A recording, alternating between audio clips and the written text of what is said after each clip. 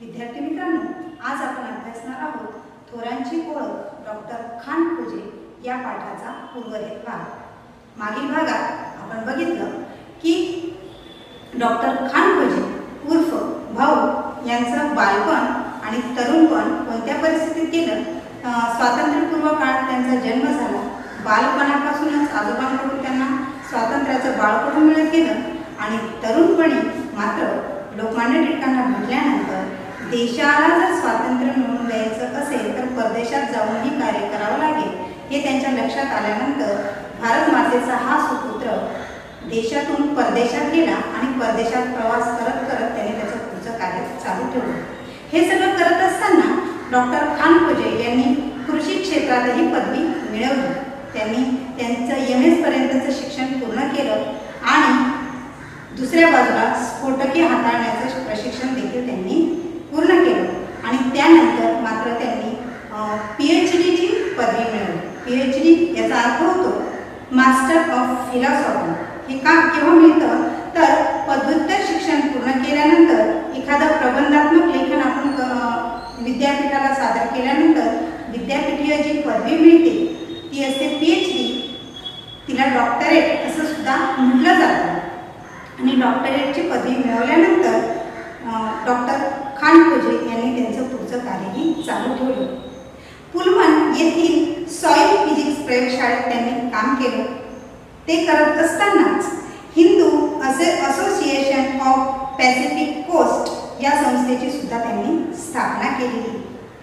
परंतु मित्रांनो याच काळात त्यांचं गदर पार्टीचं कार्य देखील जोरात सुरू होतं. प्रहारक विभागाचे ते प्रमुख होते. आणि प्रभा प्रहारक विभागाचे प्रमुख असल्यामुळे त्यांनी योजना आखली कोणती होती बरं ती योजना? तर जर्मनीमधील सुमारे दहा हजार स्वयंसेवक त्यांनी एकत्रित केले आणि हे स्वयं स्वयंसेवक एकत्रित करून त्यांच्या तुकड्या करून भारतात शिरण्याची त्यांची योजना होती. त्याप्रमाणे त्यांनी कार्यही केलं आणि भारतातील जनतेस जागे करण्यासाठी पूर्व किनाऱ्यावर त्यांनी त्या स्वयंसेवकांच्या सहाय्याने हल्ला करवला. परंतु योग्य तो प्रतिसाद न मिळाल्या मिळाल्याने गदर पार्टीची ती योजना फसली परंतु तेवढ्यावर थांबणारे डॉक्टर खानखोजी नव्हते. ते अखंडपणे प्रयत्न करतच राहिले. त्यात हे सगळे प्रयत्न करत असताना त्यांनी अनेक वेश धारण केले. अनेक वेळा ते स्वतःची ओळख लपवली. अनेक वेगवेगळी नावं त्यांनी धारण केली. आणि या पुढील काळात मात्र बदल चळवळी चळवळीचे जे कार्य ते संपुष्टात येत गेलं. संपुष्टात येत गेलं किंबहुना आपण असं म्हणूया ते संपुष्टात आणलं गेलं इंग्रजांद्वारे अनेक गदर जे क्रांतिकारक होते त्यांच्यावर त्यांना तुरुंगात डांबलं गेलं. त्यांच्यावर अनन्वित अत्याचार झाले. त्यांचा छळ करण्यात आला आणि असं करता करता गदर चळवळ जवळजवळ संपुष्टात आली.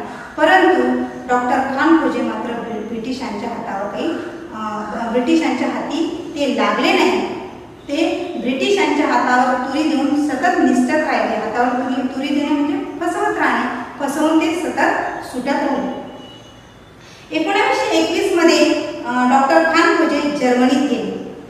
रशियास भेट दिली. लेनिनशी सुद्धा त्यांची दोनदा भेट झाली. आणि नंतर ते बर्लिनला गेले. असा त्यांचा सततचा प्रवास चालू होता. परंतु हा प्रवास करत असताना प्रत्येक ठिकाणी त्यांच्या असं लक्षात येत होतं की ब्रिटिश किंवा इंग्रज सरकारचे शिपाई त्यांच्यापर्यंत पोहोचत होते. आणि त्यांच्या लक्षात आलं की आपल्याला या भागात राहणं अतिशय धोक्याचं यापुढील काळात अतिशय धोक्याचं होणार आहे. म्हणून त्यांनी या सर्व पार्श्वभूमीचा विचार करून मेक्सिकोमध्ये जाण्याचा निर्णय त्यांनी घेतला. सन एकोणावीसशे चोवीसमध्ये डॉक्टर खान कोझे मेक्सिकोत दाखल झाले. बघा विद्यार्थी मित्रांनो एकोणावीसशे चोवीस ते एकोणावीसशे सत्तेचाळीस हा त्यांच्या जीवनातील बराच मोठा कालखंड डॉक्टर खान कोझे यांनी मेक्सिकोत व्यतीत केला. मेक्सिकोत राहिले ते आणि मेक्सिकोत राहून त्यांनी मेक्सिको या भागाची अतिशय प्रचंड प्रमाणात आर्थिक भरभराट करून दिली शेतीच्या साह्याने शेतीमध्ये खूप सारं उत्पन्न काढल्यामुळे आर्थिक भरभराट त्या देशाची होत गेली. तेथील स्कूल ऑफ ॲग्रिकल्चरमध्ये प्रोफेसर म्हणून ते शिकू लागले. त्यांनी जेनेटिक्समध्ये संशोधन केले. आता जेनेटिक्स म्हणजे काय? तर जेनेटिक्स म्हणजे जनक पिढीतील गुणधर्म पुढच्या पिढीत संक्रमित करणे. जनक पिढीतील गुणधर्म पुढच्या पिढीत संक्रमित करणे. म्हणजे एखाद्या पिकाचा किंवा एखादं पीक असेल त्याच्या त्याचे जे गुणधर्म आहेत ते त्याच्या पुढच्या पिढीत विकसित करायचे संक्रमित संक्रमण करणे म्हणजे काय टाकणे या काळात त्यांच्या अध्यापनाचा लौकिकही वाढला जमीन आणि पिके या विषयात त्यांच्या शब्दाला मोल आला मोल येणं म्हणजे किंमत येणे त्यांचं कार्य इतकं अफाट होतं की त्यांच्या शब्दाला आपोआप किंमत येत गेली कारण त्यांनी जे सांगितलं त्या पद्धतीने जर शेती केली तर हमखास त्यांनी सांगितल्याप्रमाणे पीक येत होतं जेनेटिक्स या विषयात त्यांचा दबदबा वाढला. दबदबा वाढणे म्हणजे काय? त्यांचं शब्दाला वजन प्राप्त झालं. राष्ट्रीय प्रदर्शनात मिळालेल्या प्रथम पुरस्कारामुळे त्यांचं लौकिक त्यांचा लौकिक त्यांची कीर्ती अमेरिकेतील भारतीय विद्यार्थ्यांपर्यंत पोहोचली. अध्यापनाव्यतिरिक्तच्या वेळात त्यांनी त्यांच्या प्रयोगशाळेत आणि प्रयोग क्षेत्रात गव्हावर त्यांनी अभ्यास सुरू केला. या प्रयोगातूनच त्यांनी गव्हाचे विविध वाण किंवा आपण त्याला गव्हाच्या विविध जाती असंही म्हणू शकतो त्या त्यांनी संशोधित केल्या. उदाहरणार्थ पावसाळ्यात उन्हाळ्यात येणाऱ्या गव्हाची संकरित जात. नंतर तांबेरांना पडणारी जात. तांबेरा म्हणजे गव्हावर एक प्रकारची कीड पडते. आणि त्या किडीला तांबेरा म्हटलं जातं. तर ती तांबेरा न पडणारी जात सुद्धा त्यांनी जातीचं सुद्धा त्यांनी संशोधन केलं आणि बर्फालाही दाद न देणारी जात बर्फ जरी पडला त्या पिकावर तरी सुद्धा कुठल्याही प्रकारची कीड लागणार नाही अशी जात सुद्धा त्यांनी विकसित केली. विपुल उतारा देणारी जात म्हणजे असा प्रकारचं बियाणेही त्यांनी संशोधित केलं की ते पेल्यानंतर त्यापासून भरपूर असं पीक येईल. अशा पद्धतीने डॉक्टर खान खोजी यांनी मेक्सिकोत हरित क्रांती घडवून आणली. डॉक्टर खान खोजे यांनी एकूण पंचवीसशे संकरित जाती तयार केल्या डॉक्टर खान पूजेचा जेनेटिक क्षेत्रातला अभ्यास जमीन आणि पिके या बाबतीतले प्रयोग गव्हावरचे संशोधन इत्यादी लक्षात घेऊन तेथील जे मेक्सिकन सरकार होतं त्या मेक्सिकन सरकारने त्यांनी त्यांना मेक्सिकोचा अभ्यास दौरा करण्यासाठी पूर्ण मेक्सिकोत फिरण्याची विनंती केली. सर्व ठिकाणच्या कृषी कृषी संस्था संशोधन केंद्रे तसेच शेतकऱ्यांच्या भेटी घेऊन त्यांच्या काय अडचणी असतील त्या समजून घेण्याचं कार्य डॉक्टर खानपुजे यांनी केलं.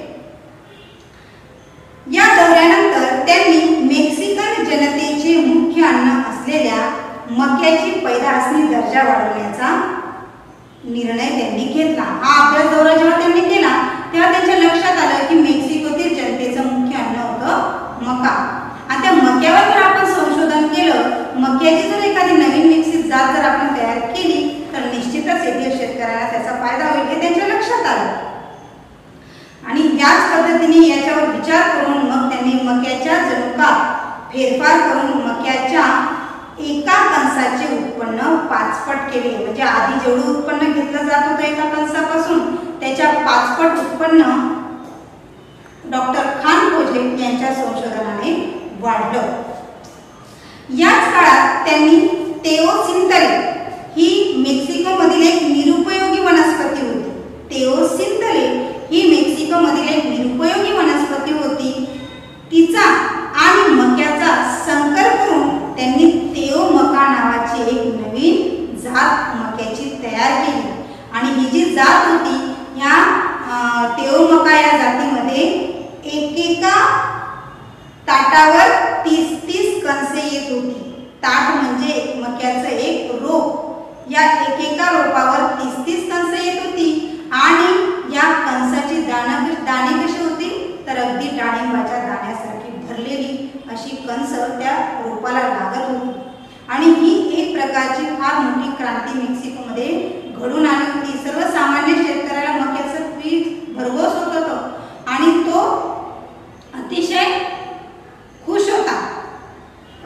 ख्रिस्ताबरोबर डॉक्टर खान खोजे यांचे फोटो मेक्सिको मधील जनतेच्या घराघरात झळकू लागले. ते लोकांसाठी देव झाले.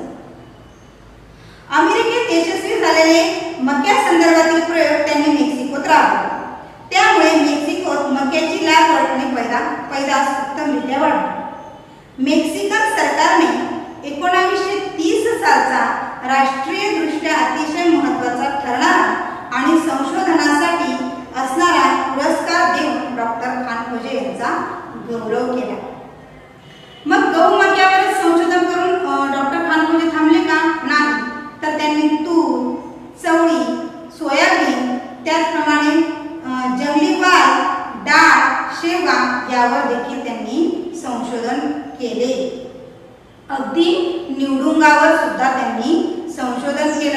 वेग शेवग्याचे वेगवेगळे उपयोग यावर त्यांनी एक पुस्तिका देखील छापली.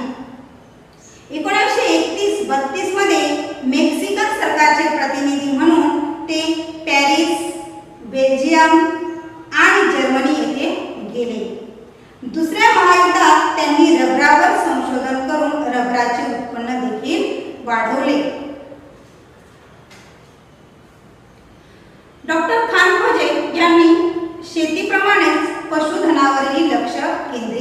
केलं गोवंश सुद्धा अधिक दूध देणाऱ्या गायी गोपालन इत्यादी विषयात ते प्रवीण होते हुशार होते.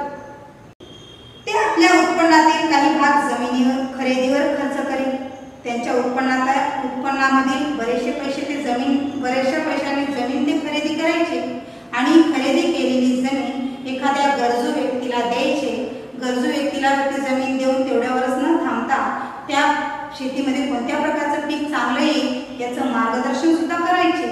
या पद्धतीने त्यांचं समाजकार्य देखील चालूच होतं.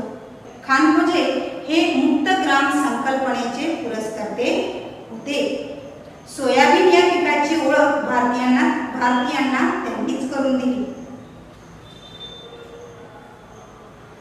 भारताला स्वातंत्र्य मिळाल्यानंतर एकोणीसशे एकोणपन्नासमध्ये तत्कालीन मध्य मध्य प्रांताच्या म्हणजे आताचा मध्य प्रदेश कृषी मंत्र्यांनी डॉक्टर खान खोजे यांना भारतात आमंत्रित केले शेती सुधारण्यासाठी यांत्रिक पद्धती व सहकारी शेती यांचा अवलंब करून आपल्या देशाचा विकास करता येईल का याचं अवलोकन करण्यासाठी त्यांनी डॉक्टर खान खोजे यांना आमंत्रित केलं.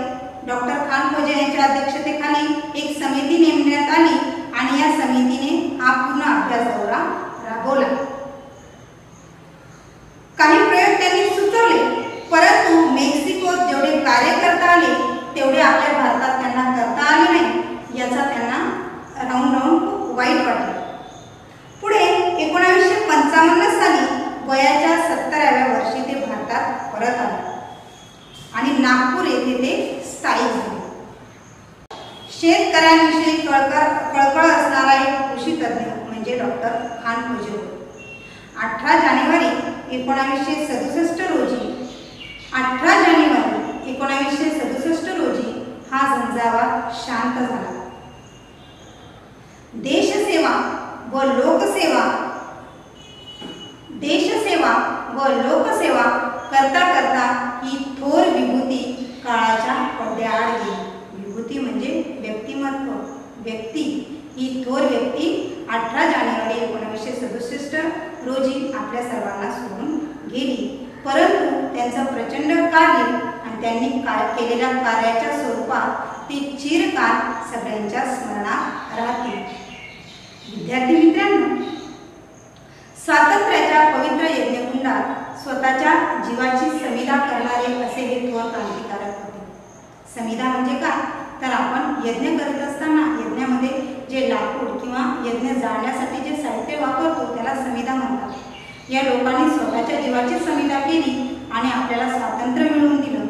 परंतु स्वतःच्या नावाचा कुठेही उल्लेख किंवा कुठल्याही प्रकारची प्रसिद्धी न मिळवता त्यांनी हे कार्य केलं. असे हे थोर क्रांतिकारक आणि थोर कृषी तज्ज्ञ यांच्याविषयी आपण जाणून घेतलं आणि या डॉक्टर खान यांच्यासारखीच देशसेवा आणि लोकसेवा आपल्या हातूनही घडावी हाच संदेश आपण या पाठातून घेऊया.